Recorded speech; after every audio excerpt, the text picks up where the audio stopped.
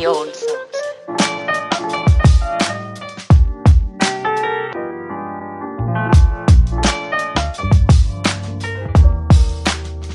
For old time's sake.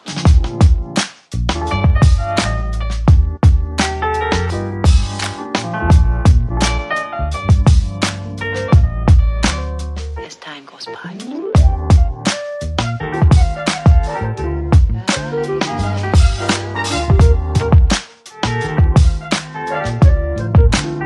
it up.